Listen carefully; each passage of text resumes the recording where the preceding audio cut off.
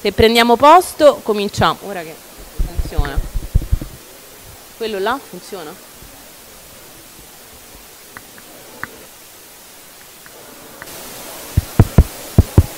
Se prendiamo posto, cominciamo. Ora che funziona. Quello là funziona?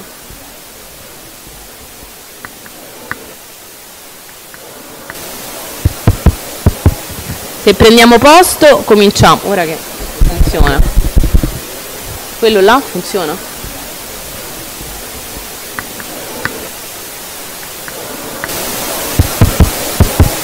Se prendiamo posto, cominciamo. Ora che funziona. Quello là funziona?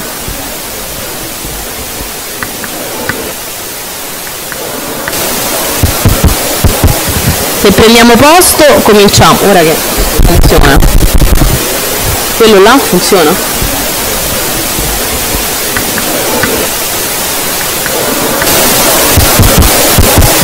Se prendiamo posto, cominciamo. Ora che funziona. Quello là funziona?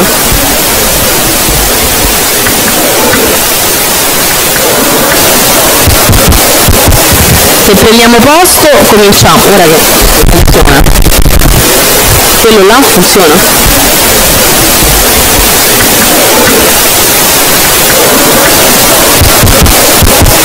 Se prendiamo posto, cominciamo. Ora che funziona. Quello là funziona?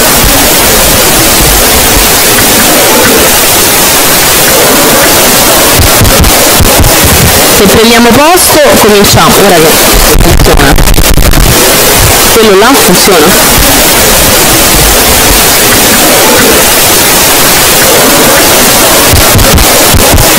Se prendiamo posto, cominciamo. Ora che funziona. Quello là funziona?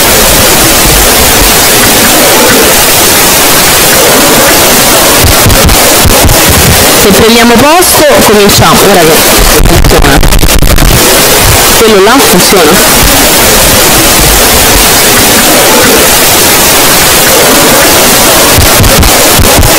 Se prendiamo posto, cominciamo. Ora che funziona. Quello là funziona?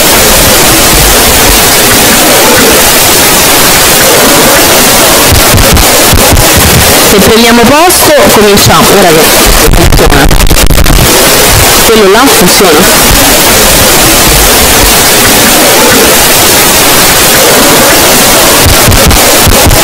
Se prendiamo posto, cominciamo. Ora che funziona. Quello là funziona?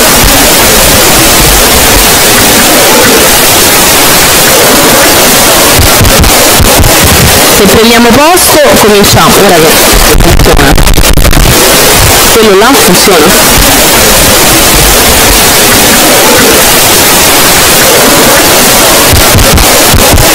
Se prendiamo posto, cominciamo. Ora che funziona. Là funziona?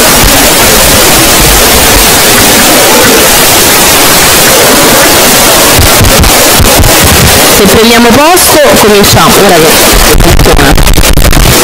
funziona. Là funziona?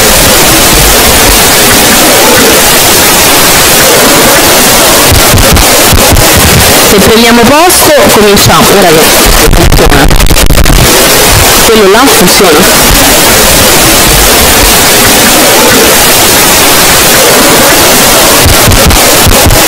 Se prendiamo posto, cominciamo. Che funziona. Quello là funziona?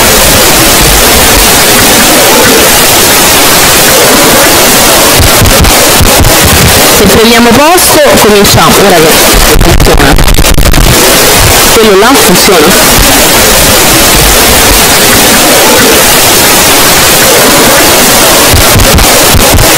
Se prendiamo posto, cominciamo. Che funziona. Quello là funziona?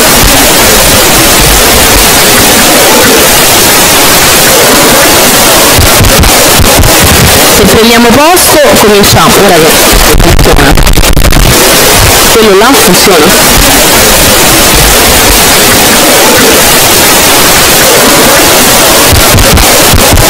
Se prendiamo posto, cominciamo. Ora che funziona. Quello là funziona?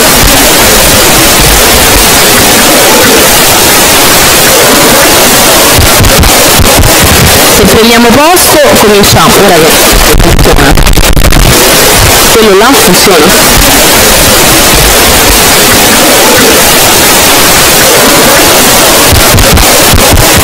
Se prendiamo posto cominciamo, ora che funziona. Quello là funziona.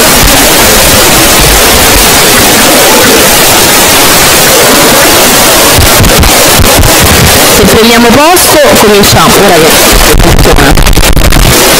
Quello là funziona.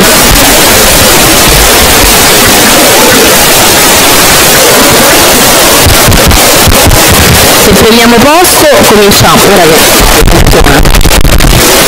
Quello là funziona.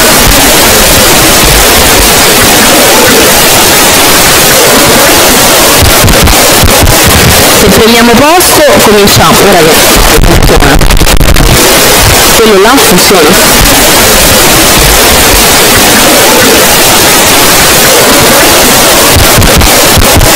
Se prendiamo posto cominciamo, ora che funziona.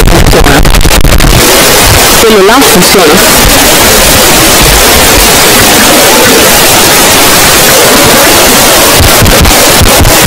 Se prendiamo posto cominciamo, ora che funziona. Quello là funziona.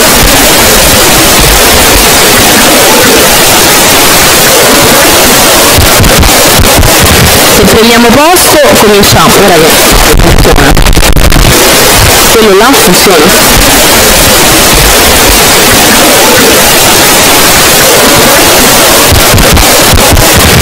Prendiamo posto cominciamo, ora che funziona.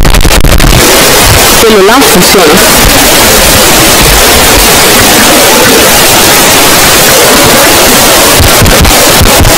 Se prendiamo posto cominciamo, ora che funziona. Quello là funziona.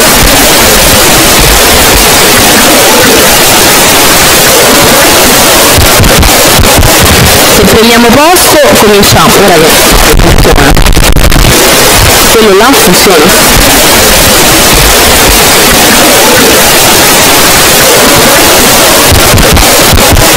Se prendiamo posto cominciamo, ora che funziona. Quello là funziona.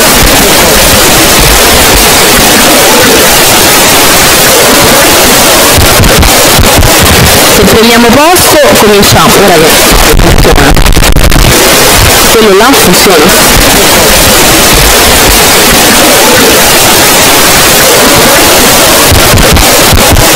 Se prendiamo posto cominciamo, ora che funziona. Quello là funziona.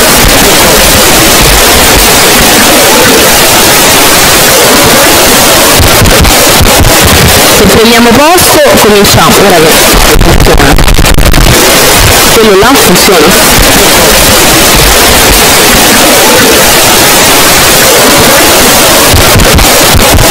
Se prendiamo posto cominciamo, ora che funziona.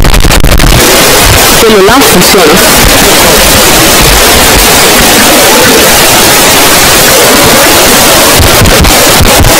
Se prendiamo posto cominciamo, ora che funziona. Quello là funziona.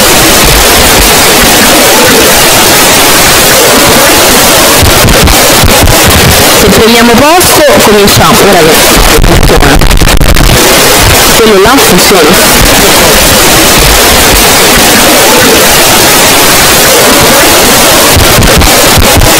Se prendiamo posto cominciamo, ora che funziona. Quello là funziona.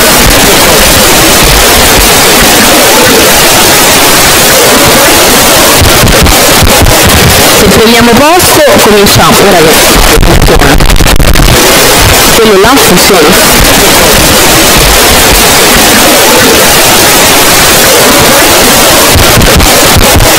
Se prendiamo posto cominciamo, ora che funziona. Quello là funziona.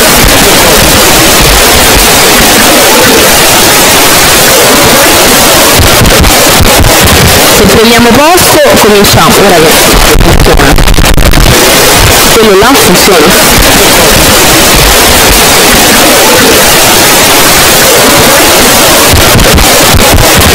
Prendiamo posto cominciamo. Ora che funziona. Quello là funziona.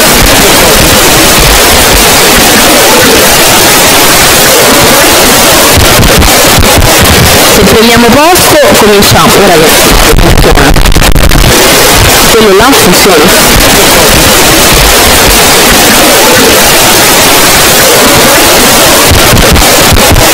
Se prendiamo posto cominciamo. Che funziona. Quello là funziona.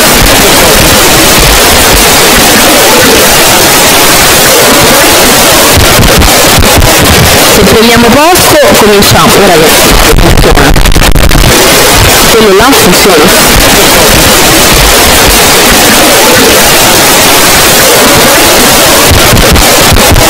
Se prendiamo posto cominciamo. Ora che funziona. Quello là funziona.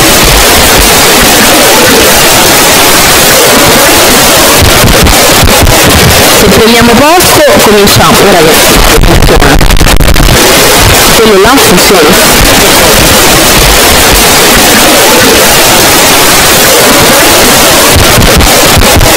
Se prendiamo posto cominciamo. Ora che funziona. Quello là funziona.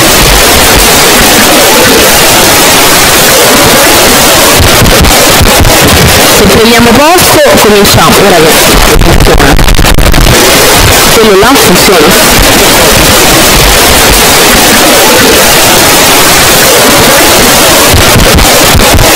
Se prendiamo posto cominciamo. Che funziona.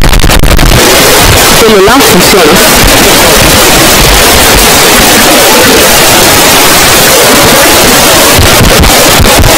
Se prendiamo posto cominciamo. Che funziona. Quello là funziona.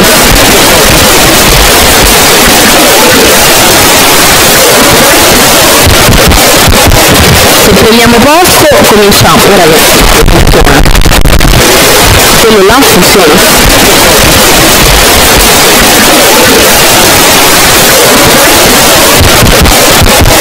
Se prendiamo posto cominciamo. Ora che funziona. Quello là funziona.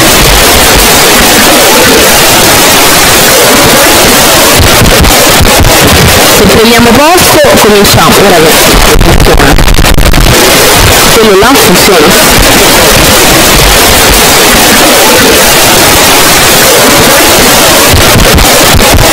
Se prendiamo posto cominciamo. Ora che funziona. Quello là funziona.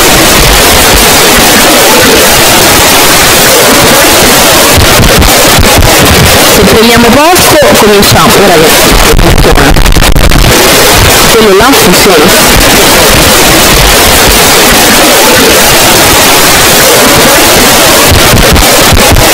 Se prendiamo posto cominciamo. Ora funziona. Quello là funziona.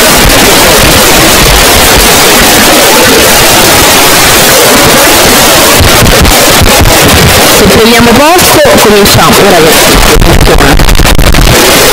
Quello là funziona.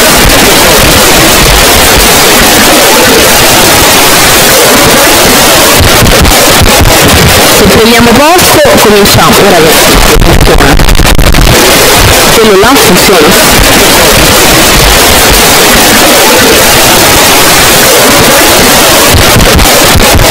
Se prendiamo posto cominciamo. Che funziona.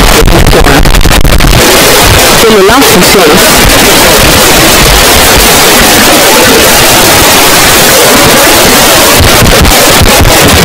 Se prendiamo posto cominciamo. Ora che funziona. Quello là funziona.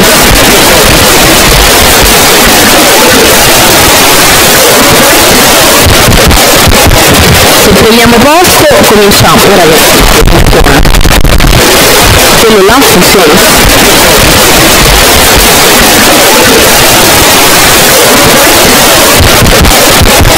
Se prendiamo posto cominciamo. Ora che funziona. Quello là funziona.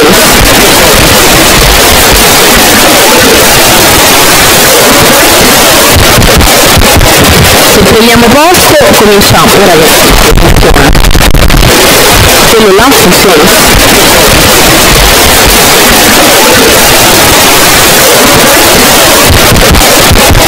se prendiamo posto cominciamo ora che funziona quello là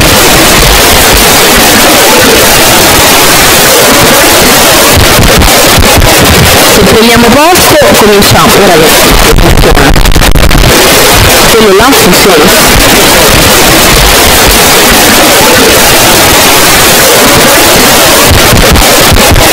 Se prendiamo posto cominciamo ora che funziona quello là funziona?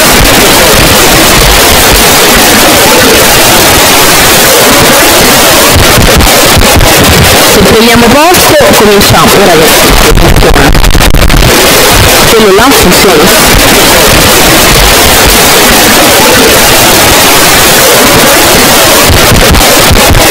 se prendiamo posto cominciamo quello là funziona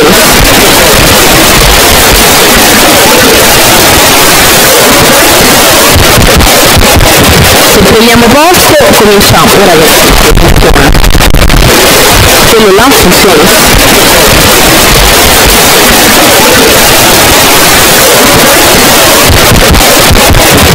prendiamo posto cominciamo ora che funziona. Quello là funziona.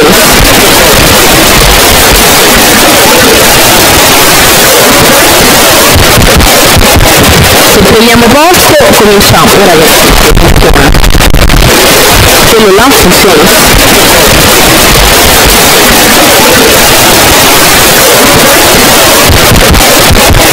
Se prendiamo posto cominciamo ora funziona quello là funziona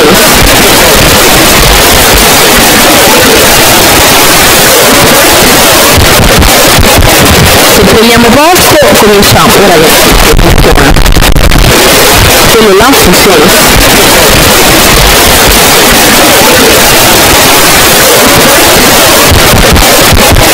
Se prendiamo posto cominciamo ora che funziona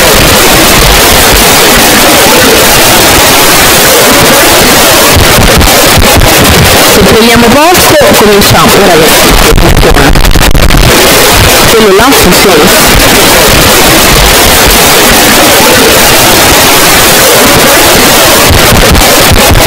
Se prendiamo posto cominciamo ora che funziona quello là funziona.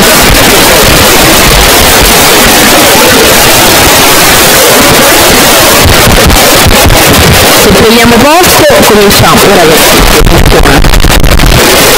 là funziona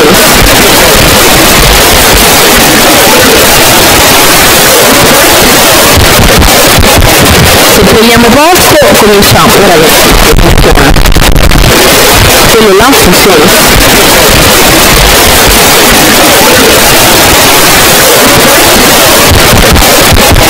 Se prendiamo posto cominciamo ora che funziona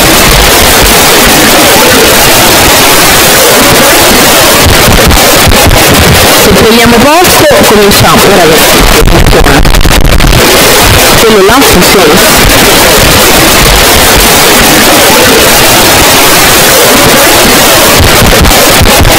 Se prendiamo posto cominciamo.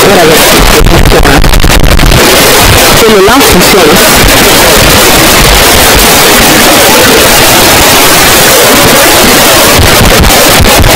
Se prendiamo posto cominciamo. ora che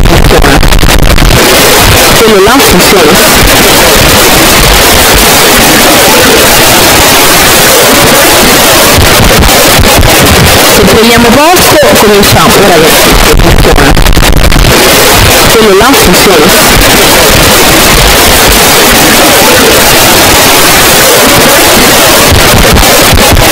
se prendiamo posto cominciamo funziona quello là funziona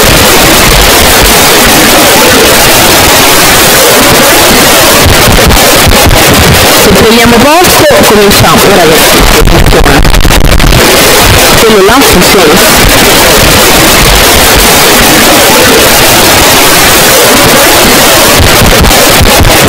prendiamo posto cominciamo ora che funziona quello là funziona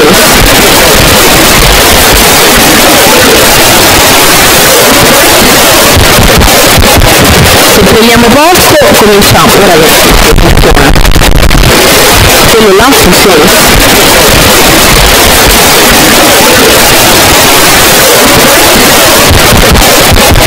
se prendiamo posto cominciamo che funziona là funziona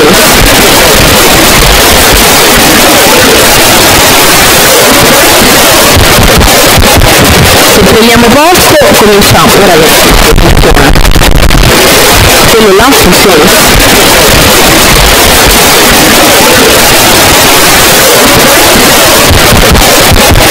se prendiamo posto cominciamo. Ora che funziona. Quello là funziona.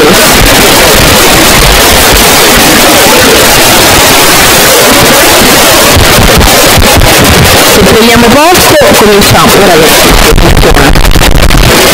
Quello là funziona.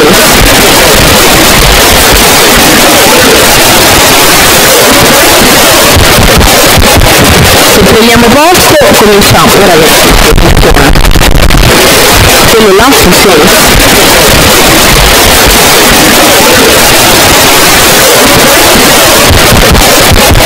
se prendiamo posto cominciamo funziona. Quello là funziona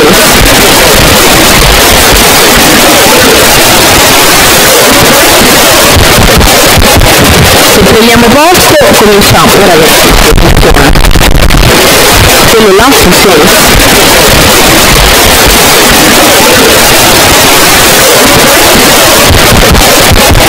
se prendiamo posto cominciamo ora che funziona. Quello là funziona.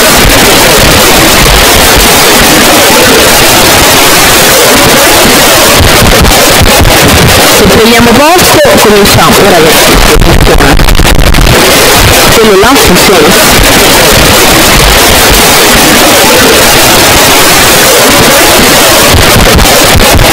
Se prendiamo posto cominciamo ora che là funziona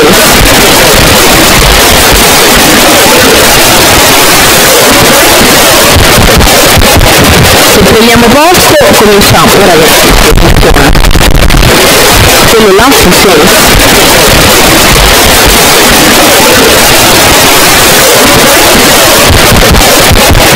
se prendiamo posto cominciamo ora che funziona quello là funziona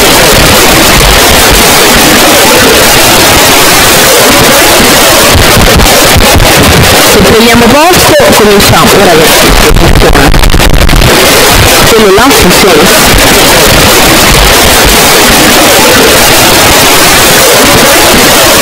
se prendiamo posto cominciamo ora che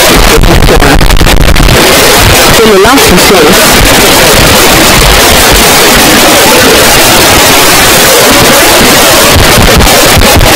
se prendiamo posto cominciamo ora che funziona quello là funziona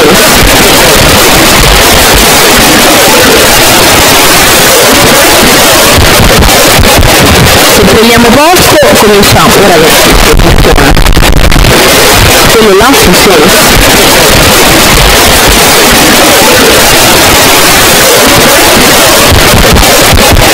se prendiamo posto cominciamo che funziona. Là funziona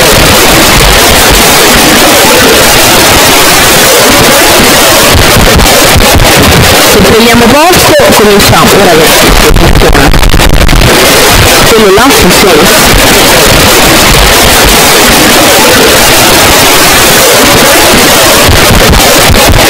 se prendiamo posto cominciamo ora che funziona quello là funziona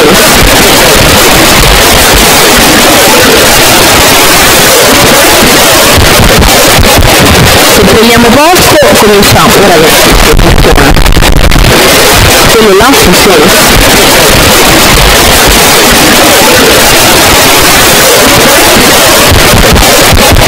se prendiamo posto cominciamo ora che funziona quello là funziona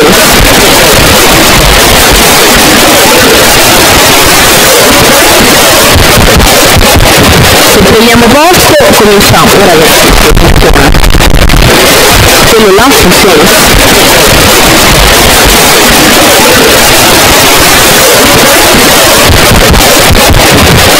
se prendiamo posto cominciamo ragazzi funziona quello là funziona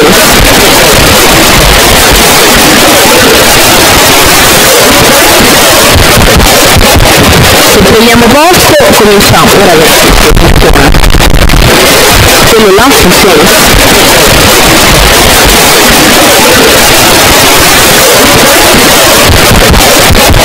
se prendiamo posto cominciamo ragazzi funziona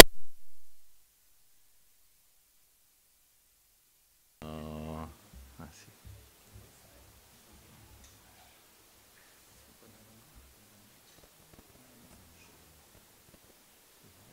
Basta inserire il...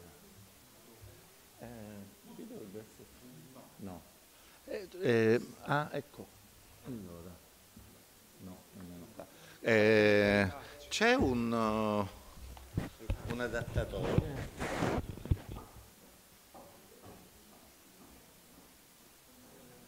Perché vedo che qui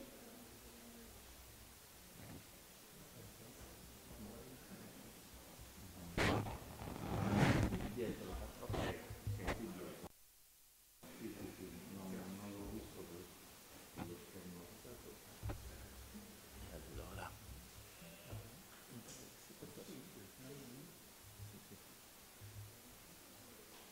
cioè, l'ho visto comparire adesso questo dovrebbe essere questo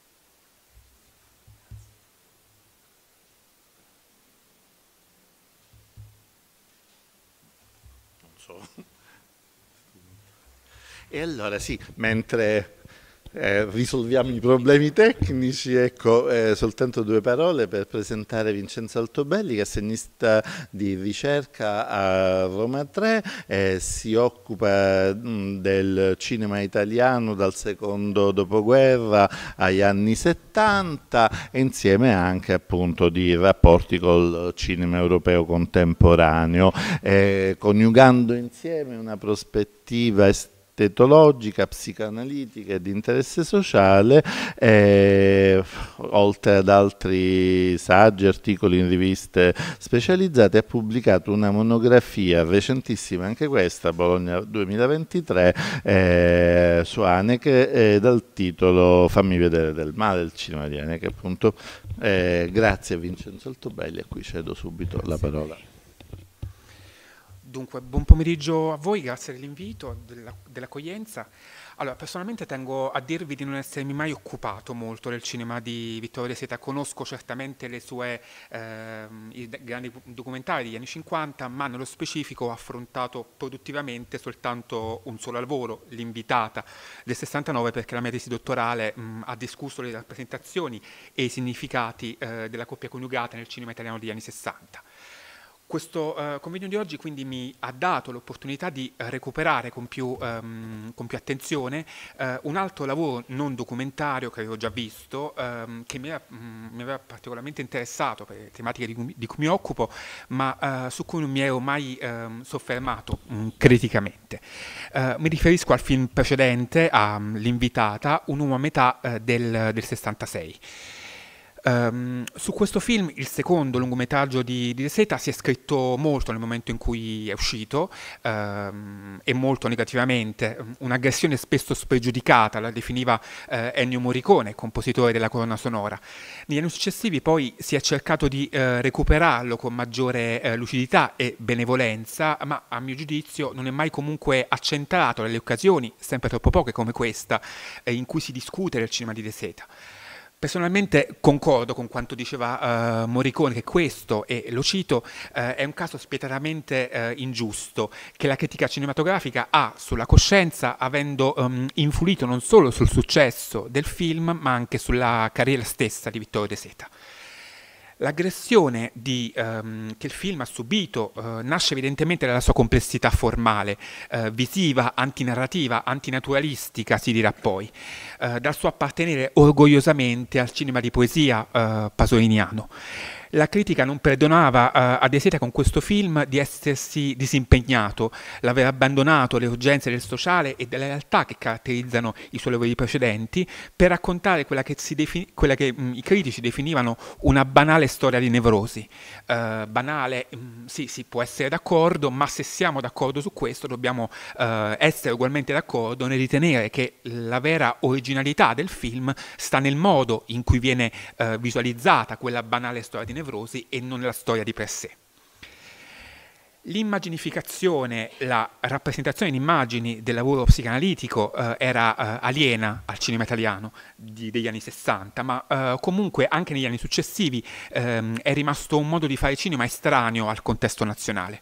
Forse soltanto ehm, l'opera di Marco Bellocchio tra la fine degli anni 80 e l'inizio degli anni 90, ehm, realizzata sotto diciamo, il controllo, per modo di dire, eh, dello psicanalista eh, Massimo Fagioli, ehm, fa- contempla dei lavori in cui si sperimentava una narrazione cinepsicanalitica più radicale.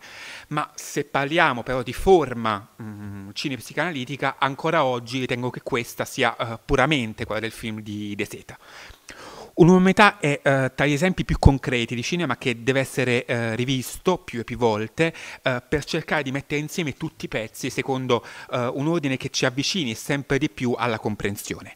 Ma um, anche rivedendolo, in effetti va detto che qualche tessera al mosaico della chiarezza sfuggirà sempre. Guardare questo film infatti significa arrendersi alla complessità accettare che l'ignoto, il caos, il non comprensibile facciano parte del film, perché fanno parte in effetti della vita, eh, della vita umana. Il film traduce in immagini questo processo di accettazione della complessità, filmando non la storia di un percorso psicanalitico, quello che banalmente, in questo caso sì, potrebbe fare il protagonista nevrotico, Michele, ma facendo un lavoro psicanalitico in immagini. La uh, complessità appartiene quindi alle immagini e il lavoro di analisi che viene assorbito dal film è teso alla sua accettazione. Uh, infatti l'analisi è qui intesa secondo il pensiero junghiano, uh, brevemente a differenza di quello freudiano, um, per cui il soggetto adulto affronta i propri traumi passati inconsci per spiegarli, per trascinarli a livello conscio e uh, risolverli quindi nel presente, secondo Jung l'inconscio, dove risiedono i traumi passati, è una parte dell'uomo che non deve essere spiegata consciamente, ma deve essere accettata, accettare che esista per meglio affrontare quindi il presente. Nella lettera che eh, De, Seta, De, Seta, scrive a um, Guido Aristarco dice eh, riconoscere l'idea di un'incognita costante. Eh, la didascalia eh, che chiude il film eh, riporta una citazione di Jung che è il sigillo più chiaro in tal senso, come altrettanto chiare sono eh, le ultime parole mh, mm, pronunciate da Michele in voiceover nella scena conclusiva, che mh, mm, vi mostrerebbe veramente se parte, penso io. Ma i ricordi erano vivi in me, contro di me, sino al momento della disperazione, della verifica, della chiarezza.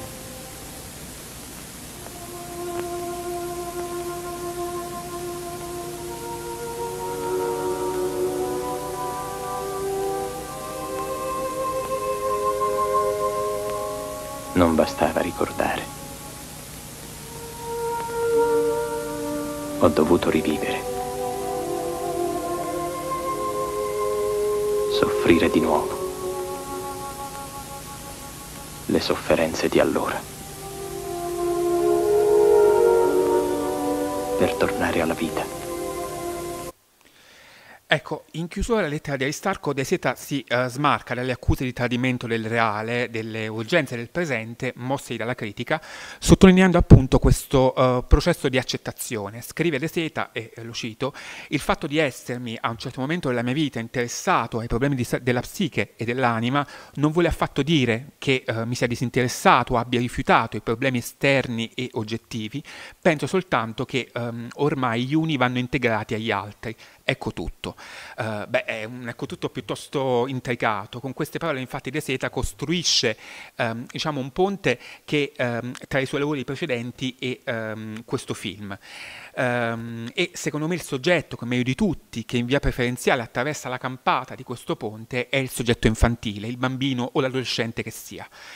Nei suoi eh, lavori documentari Vittorio De Seta cattura una umanità che si srotola lungo un segmento i cui estremi paiono costituiti dalla realtà da un lato e dalla fatica dall'altro. Significativamente eh, René Spitz, psicanalista austriaco, afferma che perché il bambino possa percorrere felicemente il cammino per farsi uomo e acquisire un'adeguata maturità, deve avere luogo un adattamento alla realtà e la realtà della nostra civiltà occidentale è dura. Eh, sebbene non lo si possa considerare il protagonista sancito dell'opera di De Seta, il bambino è di frequente il soggetto ereditario del mondo ritratto, il corpo vivente nei cui confini avviene l'adattamento ai riti e alle sofferenze della civiltà occidentale, il bambino come erede dunque, erede del mondo e la sua eredità è inevitabile, dal momento che il bambino è testimone del mondo di cui è parte e non partecipe um, a partecipare, ad agire, a faticare, a realizzare il mondo di cui il bambino è testimone sono evidentemente altri per lui o su di lui, gli adulti. L'idea di infanzia come mh, testimonianza della realtà punteggia la produzione del regista sin dal primo documentario. L'utempio di Lupisci Spada infatti si chiude infatti nello sguardo di un bambino. Qui fai partire di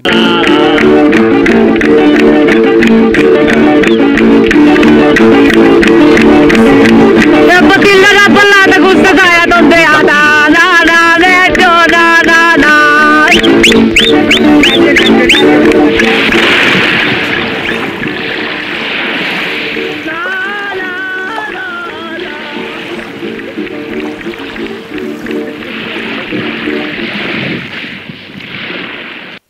Ecco, quindi dopo la danza attorno al fuoco e al suono di tamburello fatta da due bambini in mezzo a una folla infantile, il documentario si chiude con la lampara che viene spinta eh, in mare al crepuscolo, un bambino accorre in spiaggia e guarda, testimonia la ripresa del lavoro della fatica. Nella soggettiva, quindi, di un bambino possiamo dire che il film finisce ma il mondo prosegue. In quasi tutti i dieci eh, documentari degli anni 50 ehm, rinveniamo questa tipologia di immagine infantile come testimonianza del mondo, bambini non ritratti come individui, ma come appendici degli adulti, tenuti per mano, in braccio, come folla generazionale alle feste di paese, un gruppo diretto a scuola o di ritorno da essa, giovani che aiutano i genitori sui campi di grano o le madri nei lavori domestici. Sappiamo che eh, i lavori documentari di, eh, di Seta di Seta cedano mh, mm, totalmente il linguaggio al mondo. Non sentiamo dialoghi, non parole, ma i suoni, i frastuoni della natura come delle attività umane, lavorative. E eh, è quindi chiaro che mh, mm, pure l'infanzia taccia, in questo caso, testimoniando il mondo in silenzio. Di questo la stessa parola infanzia è eh, emblema assoluto. L'infans, appunto dal latino, è colui che non parla, che non ha eloquenza. Il bambino, si diceva, eh, è parte non partecipe eh, del mondo e eh, dell'ambiente da cui dipende. Bambino testimone, dunque, ma anche bambino dipendente. Uh, questa dipendenza è naturalmente raccolta dagli adulti, dai genitori, ma è anche, e in questo è molto interessante verificare come funziona in Deseta, dell'ambiente. C'è um, un concetto elaborato da Donald Winnicott, uh, colui che più di altri si è occupato uh, di psicanalisi infantile, che fonde efficacemente questa doppia dipendenza. Winnicott parla di madre ambiente, scritta proprio così, madre-ambiente, um, intesa sia come madre che accoglie, che fa da ambiente all'identità e ai bisogni del figlio, sia come ambiente uh, sociale, naturale, storico, che maternalizza, che bada alla crescita del soggetto. Winnicott spiega che perché il bambino sviluppi in armonia la propria identità è, è necessario una madre ambiente sufficientemente buona, perché un fallimento in questo ambito avrà a che fare con tutte le difficoltà che insidieranno la salute fisica e psichica e indeboliranno la struttura della personalità. Queste uh, parole sembrano uh, intercettare la frequenza narrativa, la storia banale, si diceva, di un'uomo metà, ma meglio ancora, e senza alcuna banalità in questo caso, individuano nella definizione madre-ambiente i soggetti protagonisti del film e dei suoi possibili significati. Tra la madre e l'ambiente c'è un trattino che anche graf- graficamente pare un prolungamento dall'uno all'altro, dall'universo materno a quello ambientale, a quello ambientale collettivo Una linea che può indicare una separazione, il bambino che fattosi adulto abbandona il regno materno per entrare da solo nel mondo, ma anche una linea che può indicare un legaccio, una catena che mantiene il figlio legato alla madre, che lo trattiene nel passato e che gli impedisce di vivere sanamente nell'ambiente esterno. Quel trattino è un individuo, dunque, eh, l'individuo figlio, un soggetto generato dal primo termine, la madre, e affidato, o così dovrebbe essere in uno sviluppo sano, al secondo, l'ambiente. Il trattino Michele è l'esatta perversione di questo meccanismo, la prova vivente del suo malfunzionamento, che esita appunto nella nevrosi che lo affligge d'adulto. Lo sviluppo sano dell'individuo ehm, e la separazione dalla madre richiedono il passaggio da uno stato di dipendenza assoluta, quello del bambino molto piccolo, del neonato che dipende in tutto e per tutto dalla madre, a uno stato di dipendenza relativa, quello del bambino che si muove con le proprie gambe nell'ambiente. Il fallimento delle cure materne, la fase della dipendenza assoluta, porta all'esperienza della non integrazione e dell'annichilimento del sé e mettono in moto un modello di frammentazione dell'essere che è il contrario della continuità del continuare ad esistere. Che fatica, paroloni oscuri di cui De Seta però non solo restituisce la complessità in metà, ma l'amplifica anche, frammentando sia il personaggio, Michele, sia la sua storia, il film. Ugualmente il contrario, la continuità del continuare a esistere, De Seta lo realizza narrativamente. Michele, afflitto da, afflitto da nevrosi, non può continuare a esistere e metacinematograficamente. Il film inciampa, quindi si annoda, ripropone immagini, frasi, situazioni che solo in parte troveranno un senso. Allo stesso modo, dunque, anche il film non può continuare. Michele è un soggetto adulto, nevrotico, la cui nevrosi si manifesta attraverso sintomi chiari. Il voyeurismo spia le coppie che amoreggiano, la gelosia morbosa, è sposato con una donna che lo ha lasciato proprio perché è estremamente possessivo, l'autopunizione, l'incidente, o almeno così lui dice, con la fiocina sullo, sullo yacht. Questi sintomi sommati nascono da un senso di colpa in cui le cause vanno rintracciate uh, al tempo dell'infanzia questo passato, questo tempo passato inoltre, ehm, continua ad avere effetti sul presente non solo con i sintomi, questi tre sintomi, ma anche con due segni, due immagini ricorrenti, l'uccello che precipita al suolo e la moto in fiamme. La moto in fiamme è un evidente segno narrativo che eh, verrà spiegato alla fine del film, mentre l'immagine dell'uccello che precipita ha una sua valenza tutta simbolica. L'uccello cade, colpito dal fuoco incrociato degli spari di fucile della madre e del fratello. Teorizzando la sessualità infantile, Freud scrive che il volare e l'essere uccello è solo il mascheramento di un altro desiderio, l'aspirazione ad essere capace di prestazioni sessuali. Questo tempo, innestato al centro esatto del film, avviene come sappiamo dopo il ricovero in una clinica psichiatrica e una seduta di elettroshock. I ricordi del passato però non ci vengono mostrati in maniera lineare da, da Reseta, ma come residui di fatti, di parole, di sguardi che serbano significati fondamentali che Michele deve riportare alla memoria, ma non per risolverli, non può, ehm, è nel presente, ma per accettarli come parti della propria identità la messa in scena del passato, uh, del passato giovanile del, del, protagonista è straniante, ma necessariamente straniante, in virtù appunto di quanto detto, cioè che ci troviamo dinanzi, dinanzi a un film che riproduce nella forma il proprio contenuto.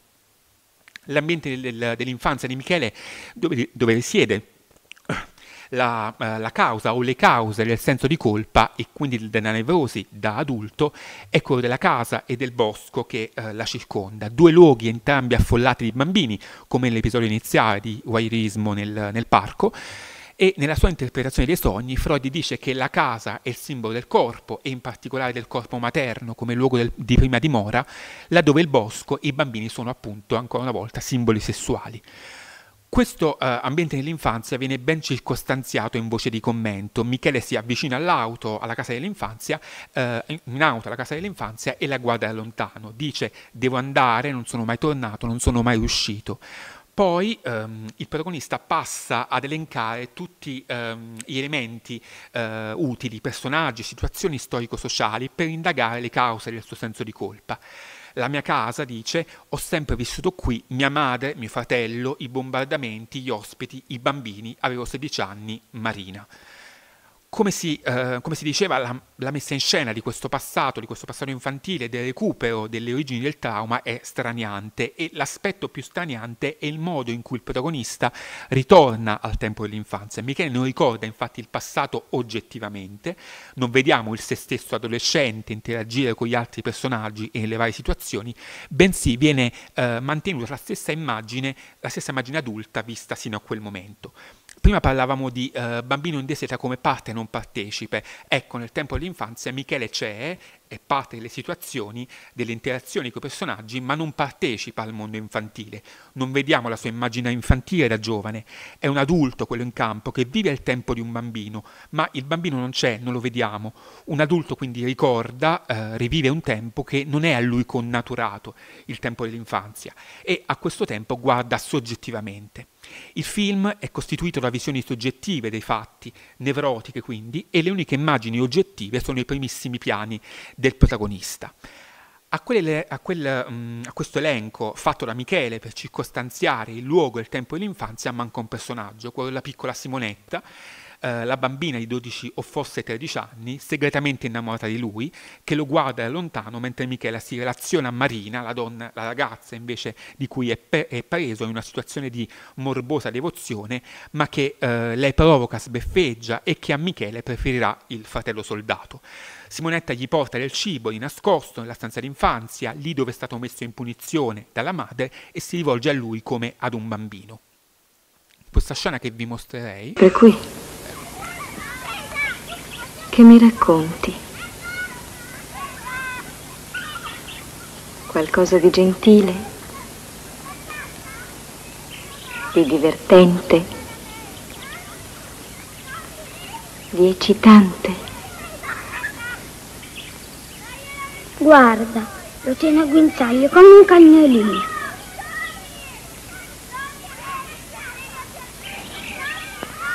Niente. Se va avanti così ci fa una vera figura da stupido, da citrullo e da scemo. Tanto a me che me ne importa. Solo perché lui ci fa una figuraccia, no? Dato che sei il mio cavalier servente, spingimi almeno. Simonetta, Lisa! Wie oft muss ich euch das sagen? Ihr könnt nie gehorchen. Es ist spät jetzt. Uffa. Simonetta è innamorata di te. Ha 12 anni. Ma è carina. Mi spinge anche a me? Così impara quella smorfiosa. Poi, ho 13 anni, non 12. Vuoi vedere il passaporto? Già. Vado avanti, tanto il senso è chiaro. Allora, in questa scena dell'altarena vediamo rappresentata una, una, classica situazione di sostituzione impossibile. I volti di Marina e della piccola Simonetta si alternano mentre vengono spinte entrambe da, uh, da Michele. I due personaggi femminili si rivolgono al protagonista, parlano l'una dell'altra, ma mai tra loro. Questa incomunicabilità tra due personaggi femminili, lo scivolare delle loro immagini l'una sull'altra, eh, l'alternanza delle rispettive voci, dà sostegno all'interpretazione di Gianno Giuliani, che ha analizzato psicanaliticamente il film negli anni 70 ehm, secondo la quale i due personaggi femminili, Marina e Simonetta, non sarebbero altro che due aspetti di un'unica figura materna, cioè la prima figura esistente per il bambino e la sola in grado di determinare attraverso il eh, rapporto che ha con lui il modello di tutti gli altri rapporti. Marina simboleggerebbe quindi l'aspetto erotico del rapporto madre-figlio, Simonetta invece quello tenero. Ecco perché la bambina Simonetta non viene citata da, da Michele nell'elencare appunto gli ingredienti del proprio passato infantile perché della tenerezza, della componente sana e corretta del rapporto con la madre ehm, l'uomo non ha mai eh, avuto nulla. Riprendendo eh, la definizione di Winnicott, madre ambiente, capiamo come questa subisca un ulteriore ampliamento di significato alla luce di, dell'interpretazione di Gianna Giuliani. La eh, madre che contiene il figlio nel senso di tenere in sé, ma anche di trattenere con sé. Eh, è per Michele quindi un ambiente totale, tanto da contenere anche tutte le altre donne. Resto uh, su questa definizione di madre ambiente per discutere un ultimo um, aspetto su cui um, sono andato troppo avanti, ecco, um, aspetto su cui appunto vorrei concludere, uh, sia nell'interpretazione di Giuliani sia nell'analisi del cosiddetto soggetto lungo uh, fatta da Filippo, Filippo, De Santis, ci si accorge che il tempo dell'infanzia è caratterizzato da un'assenza fondamentale, la figura paterna, il padre di, di Michele. In effetti, se ci, se ci, pensiamo, già i documentari di Seta sono definiti dall'assenza paterna ci, eh, e ci mostrano comunque una società, per quanto riguarda i bambini, di tipo matriarcale prevalentemente. I bambini sono affidati evidentemente alla madre, mentre i padri eh, sono via sui campi, sui pescherecci, nelle miniere, ehm, e anche nel caso di un'uomo a metà possiamo dire che uh, un padre c'è ma non si vede. Non solo si fa riferimento al padre di Michele nei dialoghi con la madre, ma proprio, proprio come le due figure femminili, Marina e Simonetta, sarebbero sostituti della figura materna, il fratello soldato sarebbe uh, il surrogato di quella paterna. Ecco la slide di prima vi, ehm, con un ultimo sforzo per verificare la complessità di quel quadro familiare e le sue conseguenze psichiche sul giovane Michele. Questa doppia proporzione simbolica, quindi Marina e Simonetta stanno alla madre come il fratello sta al padre, capite bene che eh, complica il quadro di relazioni familiari ritratte dal film, soprattutto alla luce di quanto avviene narrativamente, cioè la morte del fratello, l'incidente eh, in moto. Per farlo ho riportato schematicamente nella parte sulla sinistra um, uh, appunto le, um, queste relazioni e sostituzioni e le loro conseguenze. Dunque vediamo, Michele ama Marina, desidera da lei amore, ma non gli, questa non gli corrisponde, ma Marina è un sostituto della madre, quindi riformulando, Michele ama la madre, desidera da lei amore materno evidentemente, ma questa non gli corrisponde. Con la stessa logica, ma diversamente, il fratello Michele è amato dalla madre è amato anche da Marina, Michele è geloso del fratello e desidera la sua morte. La morte del fratello avviene effettivamente quando il fratello, appunto uh, sorpreso da Michele a fare l'amore con Marina, scappa in moto e ha un incidente. Ma abbiamo detto che il fratello è un sostituto del padre, quindi Michele è geloso del padre e ha desiderato la, la sua di morte. Ma perché dovrebbe essere geloso quindi del, del, padre? Beh, qui siamo nel pieno del complesso edipico freudiano. Il figlio Michele è geloso del padre perché eh, a questi, differentemente che a lui, è stato concesso di amare la madre, di desiderarla anche sessualmente. E la madre mh, mm, ricambia l'amore del padre, del fratello in questo caso, verso cui è amorevole, complice e fiera. Il senso di colpa di Michele, nato dall'aver desiderato che il fratello morisse a tal punto da farlo accadere e sentirsi di questo responsabile, non sarebbe altro che l'uccisione dell'identità paterna. Si tratta di un quadro uh, complesso, evidentemente, che mantiene una sua validità se accettiamo qualche forzatura, ma in effetti, come dicevamo all'inizio, la complessità è precipua del film stesso, della sua ideazione, della sua finalità. Ricordando la citazione di Jung, di Jung, lo scopo dell'analisi, come del film in questo caso, non è dominare la tempesta, tempesta di significati, di possibilità che il film propone, ma accettarla come parte di esso. Ecco, diciamo Michele Cometa che su questo film stamattina mh, mm, si potrebbe fare un convegno a parte, credo che sia proprio quel caso, ma non abbiamo il tempo. Basta così. Grazie. Grazie. Grazie, sì, eh, devo dire, io non sono affatto un esperto del cinema di De Seta, però mi pare veramente che venga fuori anche eh, dire, eh, una prospettiva eh, molto particolare, sicuramente insomma, sarà anche occasione di dibattito ulteriore. Ehm, eh, stiamo andando credo molto bene come tempi, quindi grazie ancora e, e inviterei qui eh, l'ultimo relatore di questa sessione, cioè Virgil Darelli.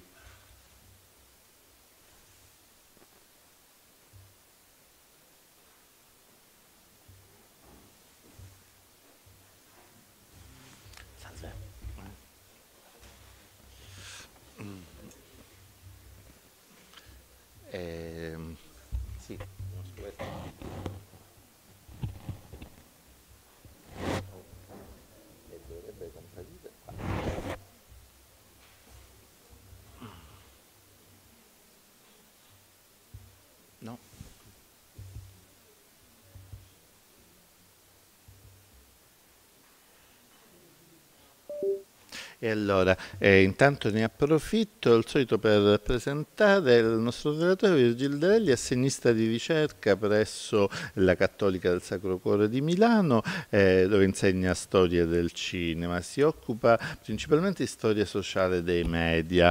Eh, ha discusso una tesi di dottorato sulla storia delle sale ed è parte del progetto CINEX, Spazi, Pratiche e Politiche dell'esercizio cinematografico italiano eh, e ha pubblicato su diverse riviste accademiche e non e presentato le sue ricerche in diversi convegni nazionali e internazionali. Eh, prego. Grazie della presentazione. Dunque, oggi parlo della Sicilia rivisitata che è un'opera televisiva di De Seta in quattro episodi è andata in onda sulla seconda rete nel 1980 quindi un periodo diverso rispetto al diario di un maestro ehm, che quindi un periodo successivo alla riforma della RAI del 75 e già eh, quando c'è una concorrenza eh, in televisione e quindi la televisione è cambiata. E inizierò parlando anche di documentari degli anni 50 perché quest'opera riprende quei film degli anni 50 e li eh, riutilizza e li rimedia anche perché passano dal cinema alla televisione. Dunque, ehm, inizio dicendo che eh, questa, diciamo, l'opera di De già negli anni 50 è un po' ai margini di quello che è il film etnografico. Um, altri cineasti si rifacevano di più uh, ai studi, collaboravano anche con Ernesto De Martino e anche l'antropologia di quegli anni ehm, aveva una forma abbastanza riconoscibile che nel um, 1976 Karl Haider ehm, definisce in base ad alcuni criteri che definirebbero l'etnograficità di un film e che non si trovano nei film di De Seta. E questi sono, ad esempio, il fatto di fondarsi su una conoscenza etnografica pregressa, associare i comportamenti osservati a delle norme culturali, esplicitare le tecniche cinematografiche, mentre De Seta, ad esempio, lui utilizza in quei documentari una, una continuity basata su riprese fatte in diversi momenti, oppure anche una messa in scena, come ad esempio il pesce che viene pescato in realtà era già stato pescato, quindi una, sono effettivamente veri pescatori nel, in, nel, caso della pesca del pesce spada, ma che mettono in scena se stessi. Poi c'è anche la contestualizzazione che manca e la narrazione over, ovvero la voce over, che eh, dovrebbe essere informativa e spiegante. Ovviamente non c'è. Eh, il motivo per cui un film etnografico è definito in base a questi criteri è che dovrebbe cercare di essere etnografia prima di essere cinema, quindi cercare di eh, ottenere una conoscenza oggettiva. Questa tradizione però si è poi evoluta, è diventata quello che è stato chiamato il cinema osservativo, uh, dico si è evoluta perché alcuni i protagonisti sono gli stessi evidentemente, quindi come ad esempio Robert Garner che eh, inizia a fare un cinema diverso e, mm, e, viene teorizzato poi da pensatori come Colin Young o Robert, eh, David McDougall, che ad esempio l'antropologia, quindi cinematografica, diventa più riflessiva, ovvero si, mette, si problematizza il uh, filmmaker stesso, diventa simmetrica, ovvero simmetrica nel senso di Bruno Latour, ovvero un'antropologia che si occupi anche del, della nostra cultura, ovvero della cultura del filmmaker, focalizzata più sui singoli gesti e quindi mettendo magari in secondo piano la contestualizzazione e grounded nel senso che la teoria viene fatta derivare dai singoli elementi piuttosto che cercarla di dedurla sotto norme culturali pregresse eh, che si conoscono già. Quindi il film osservativo in qualche modo si avvicina un po' a quei documentari di De Seta, quindi perde la voce, prende coscienza dei mezzi tecnici, eh, magari li, li, mette in scena, considera la realtà più irriducibile, meno spiegabile e mette in questione l'osservatore stesso, infatti l'etnografia si basa su uh, un medium, diciamo, per definizione soggettivo che è, che è l'etnografo. Però lo scopo resta sempre quello di di puntare a una conoscenza oggettiva. Ehm, diciamo che alcuni esempi sono anche eh, Arun Faroghi può essere considerato eh, cinema osservativo perché lui diceva che in realtà, anche se a prima vista magari no, però lui sta osservando la realtà, dice eh, la realtà è già messa in scena e voglio solamente osservarla. Vabbè, qui ho messo un esempio, in realtà non, non c'è bisogno. Um, an image quando lui filma la messa in scena del, um, di, un, di, un, set fotografico per la copertina di Playboy. Un altro esempio è Lucy Casting Taylor, che insieme a Verena Paravella ha fatto diversi documentari diciamo, famosi recentemente, che eh, scrive, in qui nella prefazione del, dell'ultimo libro di David McDougall, scrive ma in che modo il documentario dovrebbe interrogare il reale e come dovrebbe o potrebbe coinvolgersi con il mondo? Se ne analizziamo il contenuto, vediamo che la maggioranza dei cosiddetti documentari appartiene in, in maniera molto evidente al giornalismo, essendo in prevalenza rivolta al pubblico e al politico. Questo riguarda anche lo stile e la struttura narrativa che tendono ad assomigliare a quelli degli articoli di attualità. Ora, ho fatto questa digressione sul cinema etnografico osservativo perché ehm, la Sicilia rivisitata è esattamente l'opposto, secondo me ovvero è esattamente un articolo di attualità. Ehm, quello che lui dice è che è dovuto passare dalla poesia, quindi al regno dell'arte, con i documentari anni 50, alla prosa militante con la Sicilia rivisitata. Anche il linguaggio televisivo ovviamente è diverso, ehm, però lui giustifica questo cambiamento perché è cambiata la realtà stessa, non c'è più spazio per fare poesia, ma bisogna, bisogna fare attivismo. Eh, secondo me quindi l'oggetto è lo stesso, lui è sempre interessato a analizzare la cultura, dice sono cambiati persino i gesti, lui analizza ad esempio i canti, le pratiche, eh, le tecniche, però lo fa con un'intenzione diversa, ovvero quella di denunciare il cambiamento. Um, quindi la, mm, secondo me la distinzione che si può fare tra queste due diverse tradizioni, ho fatto questa distinzione concettuale, poi dopo la riduco un pochino, però secondo me si può distinguere in base all'intenzione, quello che fa ad esempio la narratologia contemporanea è quello di distinguere i generi non tanto in base allo stile um, o all'oggetto, ma in base all'intenzione uh, comunicativa. Quindi sul modello di quelli che sono i linguisti agli Speech Act, ehm, si può distinguere ad esempio il film di finzione dal film documentario non perché hanno uno stile diverso, ma perché hanno un'intenzione diversa. In questo caso voglio distinguere il cinema etnografico osservativo dal film, di, dall'opera di De Seta, che io sto cercando di capirla come film saggio, eh, proprio per la diversa intenzione. Eh, invece che collegarsi a una conoscenza scientifica dell'etnografia, eh, quello che, che, vuole fare De Seta è collegarsi piuttosto a un dibattito pubblico e prendere una posizione politica. E il dibattito è quello della questione meridionale, lo stesso anno esce anche mh, mm, Cristo si è fermato a Eboli su, sulla RAI, sempre una serie però di finzione, e eh, qual è primo, la prima caratteristica del film saggio è quella di avere un forte carattere soggettivo. Infatti nel film la voce narrante è molto presente e commenta in modo critico le immagini e anche ha una sua interpretazione. Però eh, il film saggio è anche una nozione molto complessa e variabile, quindi che cos'è il film saggio? Il saggio di per sé, nella sua accezione più ristretta, quindi non un'opera non di finzione, ma un tipo esatto di prosa che cerca di, eh, diciamo, di fare un tentativo concettuale, come dice la parola essay. Qui c'è la definizione del saggio letterario di Lukács che dice il saggio è un giudizio, ma la cosa essenziale, ciò che gli conferisce valore, non è tanto il verdetto, quanto il processo della formulazione del giudizio, ovvero eh, il saggio fa vedere già, non, non presenta i risultati di, una, di un ragionamento come fa ad esempio un trattato, il saggio fa vedere direttamente nella sua forma stessa il ragionamento, come prende forma. Molto spesso il saggio deve, è anche mh, mm, personale e quindi magari deve riflettere per superare un, un, tipo di evento traumatico. Nel caso della Sicilia eh, rivisitata, l'evento traumatico è la modernizzazione, il cambiamento che c'è stato tra gli anni 50 e gli anni 70. Quindi dicevo, il film saggio è un, non è tanto un genere ben definito quanto una tendenza che viene ogni tanto riemerge nella storia del cinema.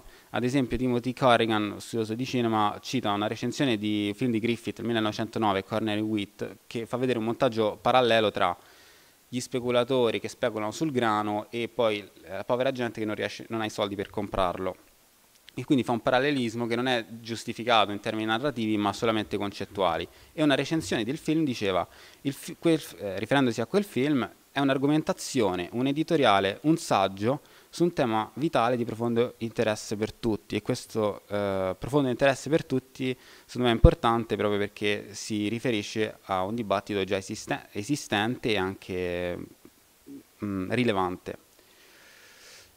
Poi ovviamente c'è la questione del, dei film che cercano di rappresentare temi astratti, come ad esempio teorizzati da Eisenstein o Hans Richter, però secondo me si può anche qui distinguere tra quelli che sono magari dei trattati, come potrebbero essere quelli di Eisenstein tipo Ottobre o il progetto sul capitale eh, di Marx che non, che non fu realizzato, che mostrano già dei significati, diciamo, eh, concepiti a priori rispetto invece a un film saggio che mostra direttamente l'argomentazione, quindi non è ancora sicuro del risultato quale sarà. Sono, vengono individuate un po' due tradizioni del film saggio, una più logocentrica, quindi che cita effettivamente il saggio letterario e quindi si basa sulla voce che viene riferita a Chris Marker e, e alla recensione che fece, che fece Basena di Lettere dalla Siberia è una tradizione appunto del montaggio che si rifà invece magari alla tradizione sovietica o a Godard, dove si, si cerca di eh, comunicare dei concetti attraverso il montaggio. Secondo invece Roland Barthes, il saggio, ovviamente lui parla del saggio letterario e Roland Barthes era un intellettuale che produceva molti saggi, quindi eh, brevi testi che provano ad analizzare un, una, una, situazione. Lui dice il saggio è un metagenere, ovvero cita, commenta, critica altre opere ed è fatto di propri appunti. Quindi è intertestuale, mentre il, il cinema osservativo magari cerca di arrivare a una, una forma di partecipazione, l'osservazione partecipante dell'etnografia, il eh, film saggio invece è più intertestuale, ovvero che si riferisce ad altri prodotti filmici e, e prova ad analizzarli.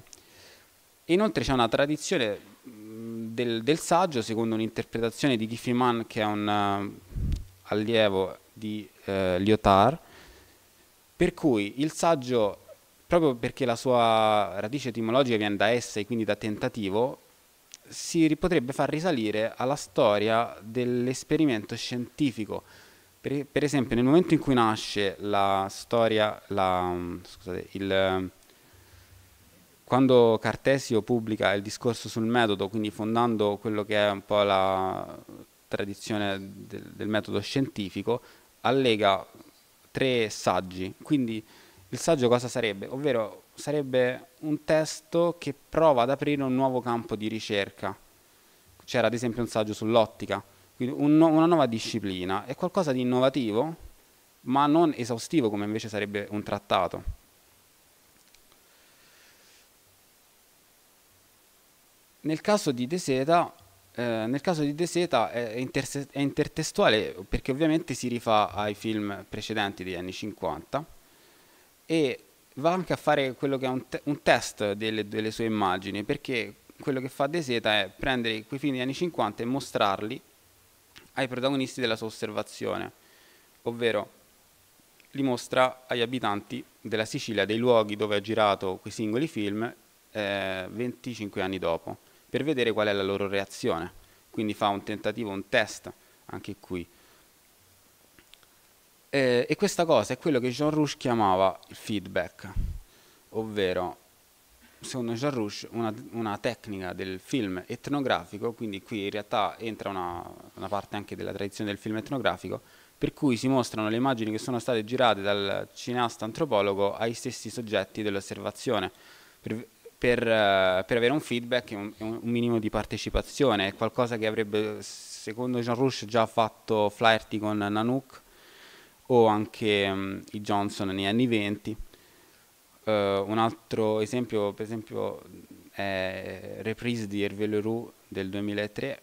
ehm, però non ci sono moltissimi esempi, però secondo me De Seta utilizzo questo, beh, è proprio il tema della Sicilia rivisitata. Quindi ci sono mh, alcune caratteristiche che riportano quest'opera audiovisiva di De Seta più alla tradizione del film saggio e altre più alla tradizione del film etnografico. Ora anche, ci sarebbe anche da considerare la questione del, del, beh, della- del linguaggio televisivo di quegli anni, che magari meno sperimentale rispetto a quelli di cui si è parlato stamattina, ma più, più invece logocentrico e solitamente anche spesso socialmente impegnato, quindi andava mm, bene. Eh, nei, nei giornali quest'opera viene di solito chiamata un documentario inchiesta. Eh, ora qui volevo fare vedere dei- degli esempi. Ehm,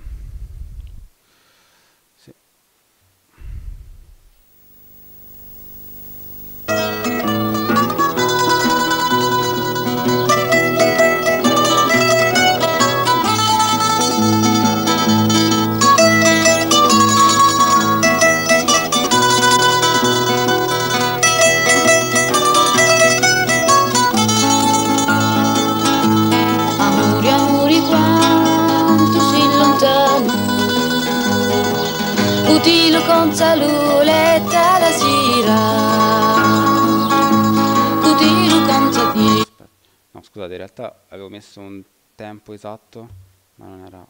ma è partito dall'inizio poi.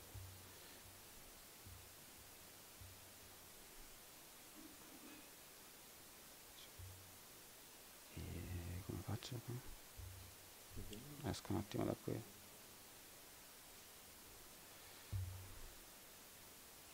Ok. Qui quando fa vedere il film a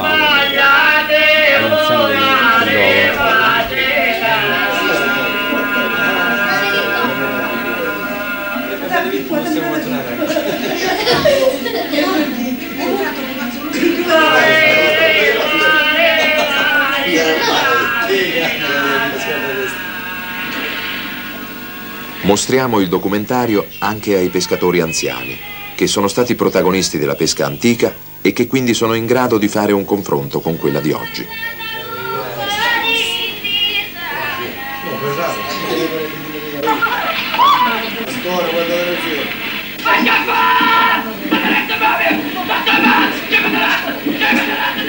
Ci colpisce il fatto che hanno quasi del tutto dimenticato i motivi e le parole dei canti popolari registrati nel documentario.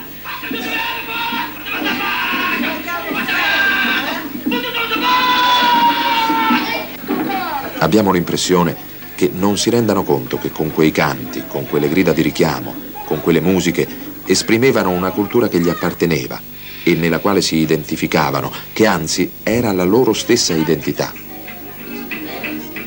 Mentre invece della radio... Ok, quindi quello, quello che si vede qui è il fatto che la voce sta spiegando come interpretare le immagini, cioè è molto, la, la posizione di De Seta è molto evidente.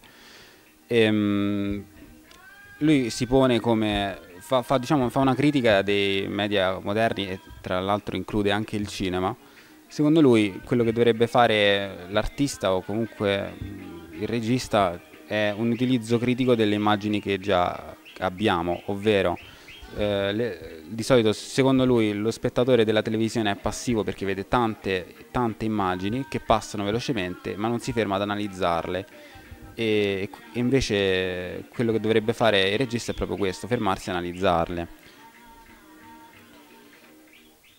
Che impressione le ha fatto?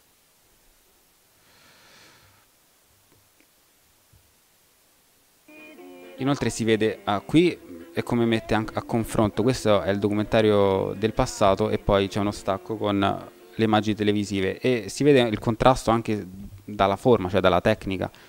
Se una è pellicola eh, con una fotografia cinematografica e, e poi anche la musica, passiamo poi alla sequenza televisiva che cambia anche il formato dell'immagine, cambiano i colori, cambia anche, cambia anche la colonna sonora perché Delle isole di una volta è rimasto poi sentiremo la, la voce Neanche registrata della guida turistica.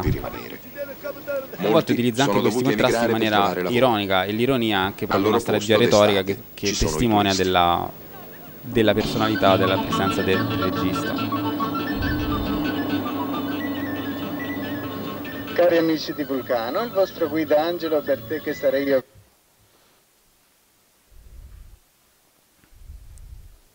Ok, ultimo esempio. Vorremmo raccogliere le impressioni dei minatori anziani, dei giovani, fare un confronto fra ieri e oggi, capire gli effetti, i danni che lo sviluppo rapido e incontrollato, l'emigrazione, la diffusione dei grandi mezzi di comunicazione, radio, cinema, televisione, ha prodotto sul modo di pensare, sul costume, sulla cultura della gente di qui. Come negli episodi precedenti, la risposta tenteremo di averla dalla gente del posto, dai lavoratori, dai protagonisti del grande sconvolgimento di cui abbiamo parlato. Finita la proiezione, gli anziani dimostrano animazione, ma anche riservo, imbarazzo. Ci rendiamo conto che non amano parlare del passato, che se ne vergognano, perché è legato a ricordi di miseria, di ingiustizia. I giovani, da parte loro, sembra non comprendano le privazioni sofferte dai loro padri. Tra le due generazioni c'è una frattura. Il riassumo, viene quindi- dimenticato, sepolto. In sostanza lui fa una critica proprio dei media contemporanei a cui contrappone invece quelli che sono i vecchi media, ovvero il canto. Eh, secondo lui gli anziani non riescono a esprimere niente perché si lega a un passato, quello- le immagini che hanno visto si legano a un passato traumatico, però poi riesce a farli parlare, riesce ad avere la loro testimonianza solo nel momento in cui li fa cantare eh, una vecchia serenata e quindi contrappone proprio eh, un eh, tipo di dei media che sono più partecipativi secondo lui. Poi più avanti ci sarà anche la cerimonia della Pasqua, farà vedere, anche lì contrapposto al, a- al vecchio film. E quello che cambia è che il nastro registrato della messa in scena della, pas- della- della passione eh, sostituisce letteralmente le parole degli attori che mettono in scena la Pasqua. Quindi ha una visione negativa dei, dei- dei nuovi me- media che sono che proprio sostituiscono, tolgono la parola a- ai, ai testimoni.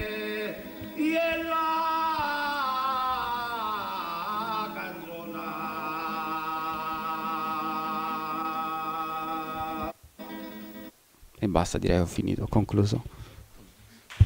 Grazie. Allora, mm, credo che abbiamo sostanzialmente un quarto d'ora, qualcosa di simile. Sì, quindi facciamo un quarto d'ora adesso e poi questa breve pausa. E forse eh, può essere utile che siano presenti tutti e tre qui i relatori o ci, o ci mettiamo qui più avanti. Ah, ecco, c'è un microfono lì.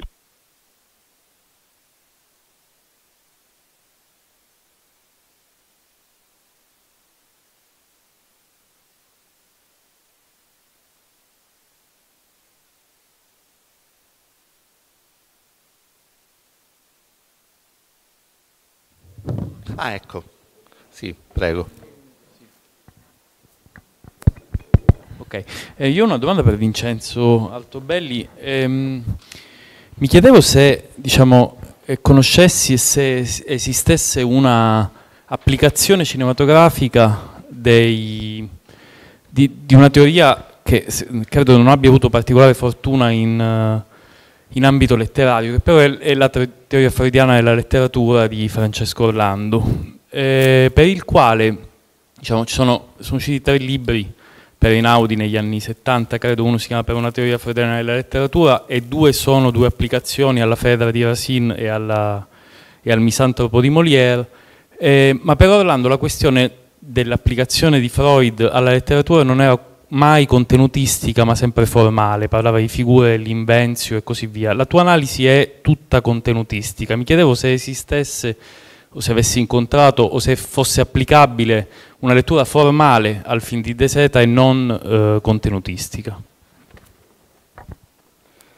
No, non l'ho mai incontrata e mm, anche la- la- l'analisi che fa Gianna Giuliani negli anni 70, il libro degli anni 80, che se non lo conoscete vi consiglio di recuperarlo perché è molto puntuale, ma è puramente na- narrativa, non è, non è formale. Diciamo la, la- l'interpretazione formale dell'immagine cinematografica è mm, successiva a, questa, un periodo in cui De Sieta lavora ovviamente a questi film, anche all'invitato del 69, che anche lì ci sarebbe in qualche modo da discutere in quest- su queste questioni in certi termini, ma ehm, diciamo, l'applicazione ehm, formale eh, della forma cinematografica, l'immagine cinematografica in termini psicanalitici, sempre diciamo, eh, narrativi psicanalitici, è successiva agli anni 70, quindi con i capisaldi, quindi quelli meziani fondamentalmente. Non- quindi in questo, term- in sen- in questo senso è anticipatorio il, il film anche dal punto di vista formale.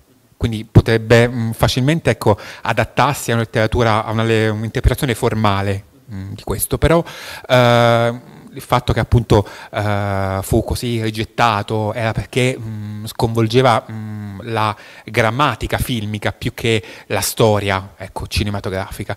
Nello stesso anno esce Persona di, di Bergman, nello stesso anno, quindi chiama su di sé, diciamo, l'attrattiva è un po' fa da apripista, mm, ma in Italia mm, diciamo, la, la pista sarà aperta soltanto molto molto dopo, negli anni 70, però non c'è, chiudendo il cerchio, non c'è una lettura formale, ecco, dal punto di vista formale, psicanalitica, di questo film o di film coevi.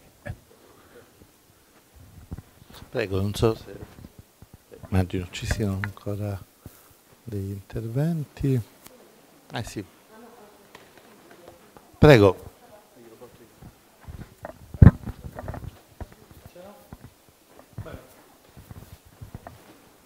No, soltanto mm, due, due, mm, sciocchezze.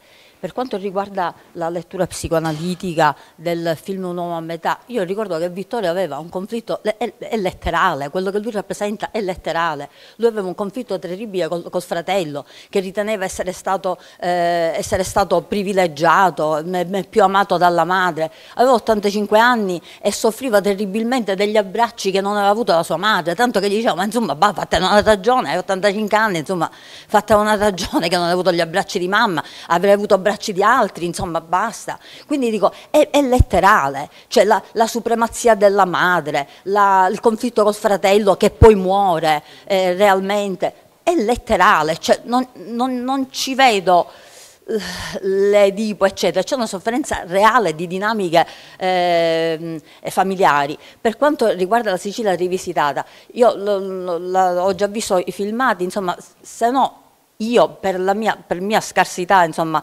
anche culturale non avrei capito di che cosa trattano i, i documentari eh, della Sicilia rivisitata. Cioè, eh, Vittorio De Seta torna 25 anni dopo sui luoghi in cui ha girato i documentari e trova un- uno scenario totalmente diverso, trova una pesca ormai depredante, trova la pesca fatta con le passerelle lunghissime che non danno scampo al, al pesce spada, quindi dove non c'è più la gara fra l'uomo e il pesce spada, ma c'è il- l'uomo che azzicca la fiocina senza che il pesce spada si sia neanche accorto del, del fatto che la, la barca sia sopraggiunta. Quindi una, una- una pesca impoverente, una pesca antiecologica che non consente una riproduzione. Cioè, quindi eh, va eh, nei luoghi dove ha, ha girato la- la eh, la, la Pasqua, i riti della Pasqua e trova colonne sonore dei Pink Floyd.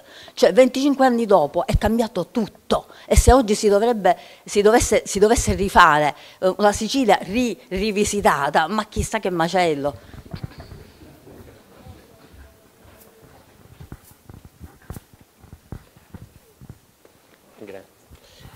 Ehm, volevo fare una domanda a eh, Darelli perché per la prima volta mi hai fatto pensare che la voice over di un diciamo, prodotto televisivo potesse essere vicina all'idea di film saggio. Cioè, allora mi sono chiesto eh, questa frontiera che per me era, non era, era un campo di grande separazione, no?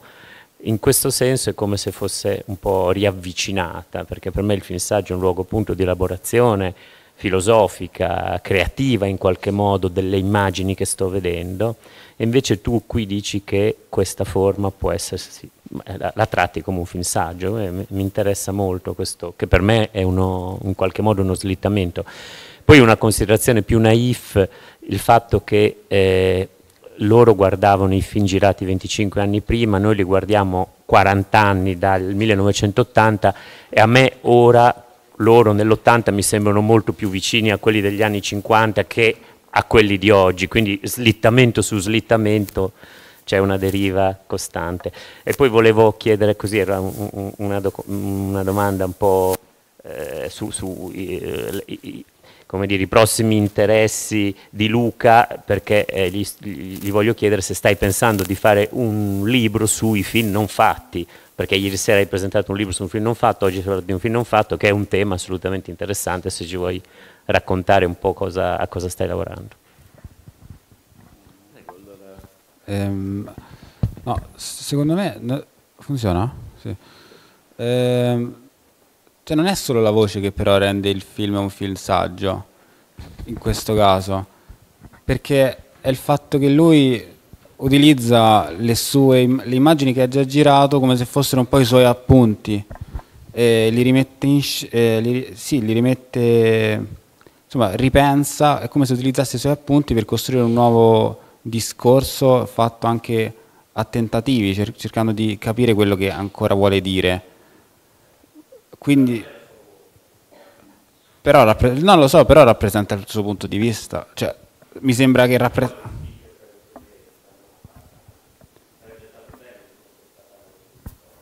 Sì, però secondo me eh, dà proprio l'interpretazione. Lui a volte fa delle interviste, no? E poi dice, sì, però ha sbagliato.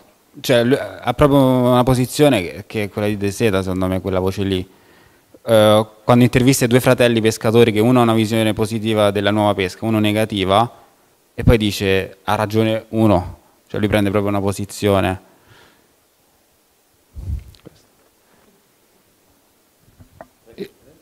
Sì, molto rapidamente sì, penso che piano piano tutti questi progetti mai fatti forse saranno un libro, ma penso soprattutto che bisognerebbe fare un grande PRIN o anche un progetto europeo eh, con tanto di banca dati, di sito, insomma il, lavoro di Brunetta eh, già andava in quella direzione, il suo libro è uscito per la Cineteca di, di, di Bologna, in inglese anche è uscito, appena uscito un libro per Bluesbury Academics sui film non fatti, ma mi pare che sia possibile fare mh, cioè una cosa che diciamo, trascenda dalla mia capacità organizzativa, ma fare una cosa molto più grande eh, con molti colleghi, perché mi sembra un tema che intercetta non solo i miei interessi, di cui ne faccio quasi forse un feticismo, ma, ma diciamo di tante altre persone, quindi sì, sarebbe bello fare un progetto più grande, oltre a un libro che sì, spero che con tutti questi vari casi prima o poi uscirà anche diciamo, a firma mia.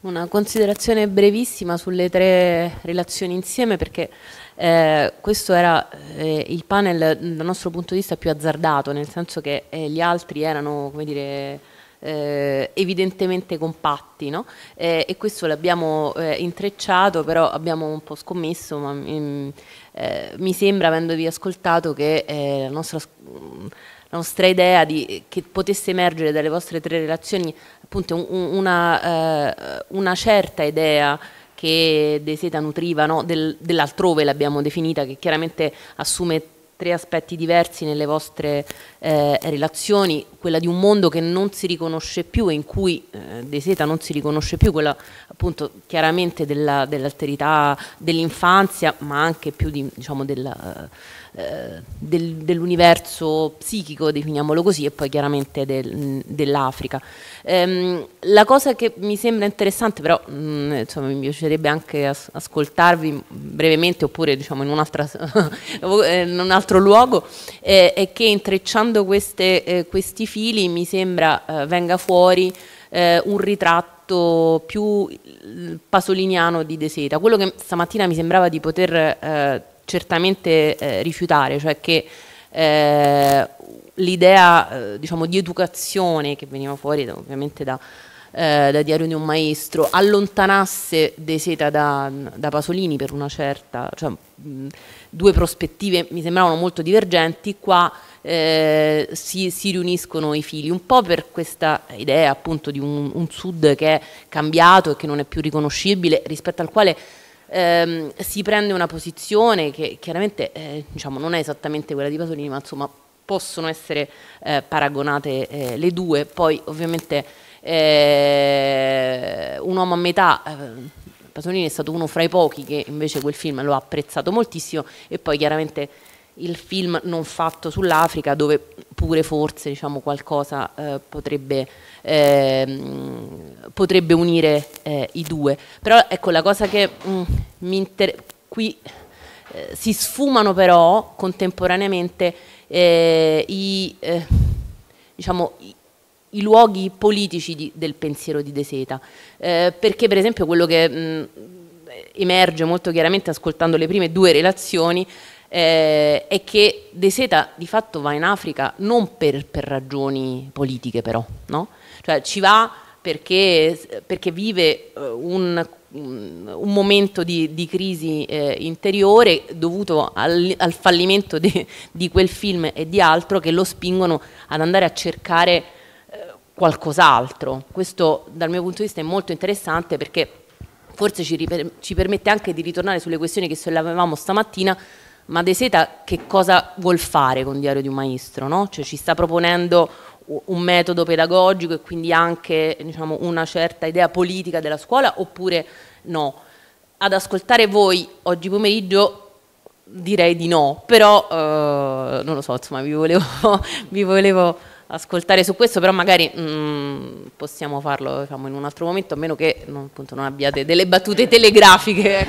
Io diciamo telegraficamente, eh, secondo me De Seta va in Africa eh, perché eh, siamo in un contesto, che è quello che ho descritto, in cui quella cosa lì è, tra virgolette, una cosa che, che si fa, che interessa a molti, e ci va perché è un uomo curioso, eh, in un certo senso come Bertolucci che due anni prima va in Iran e coglie la superficie di quell'aspetto lì e lo stesso, diciamo, coglie un, un'occasione di Seta di andare e di essere molto curioso. Quanto ci sia dentro la dimensione politica chi è più desetiano di me eh, lo può, forse lo può dire meglio. Mi piace, devo pensare un po' di più al, al, legame con Pasolini, sicuramente le attività extrafilmiche erano diverse, su questo credo non ci siano dubbi, però a parte questo devo pensare un po' allo sguardo se può essere messo in, eh, diciamo, ci può essere un legame o meno. Poi elaboriamo un po' meglio. Io dico solo che sono d'accordo. Sembra, è vero, sembra Pasolini, cioè l'inconscio terzo mondo. Sì. Infatti la Sicilia rivisitata mi sembra molto diverso dagli altri, soprattutto quelli precedenti, per il fatto che cioè, è così poco partecipativo, diciamo, nel, e ha proprio la sua posizione, il suo punto di vista domina tutto quello dei testimoni. C'era un'ultima domanda, eh, pregherei veramente brevissima. Eh.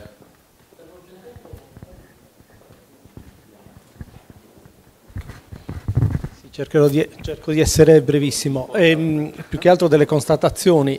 Ehm, sono tre film, tre lavori molto, molto diversi fra loro, però mi sembra che il, il film sull'Africa non fatto ci dica molto su come lavora De Seta e su come lavora nel primo periodo, perché il tentativo proprio non riuscito dei, dei, processi che invece negli altri casi sono riusciti con molta difficoltà, forse perché era in, in Italia e quindi poteva permettersi quello che non si è potuto permettere nel, nel film africano.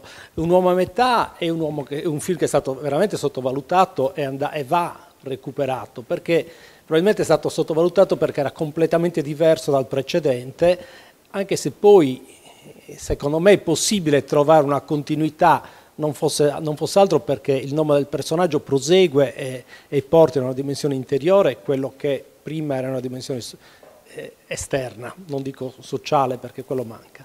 E, e invece poi la Sicilia rivisitata, secondo me, segna il passaggio da un cinema che io chiamo amorale, nel senso che è un, un cinema che non fa la morale sul mondo, ma ti presenta e poi tu osservi e trai il giudizio. Stamattina Quattriglio ha fatto, secondo me, un'affermazione molto precisa quando ha detto che De Sette è rivoluzionario nel momento in cui eh, dà il diritto di parola e non commenta, fa vedere e quindi tu leggi, e invece in questo caso commenta, commenta anche troppo, eh, ti dice cosa è giusto e cosa è sbagliato e forse in questo modo perde anche quello che è un po' la sua forza, la sua capacità di raccontare mondi.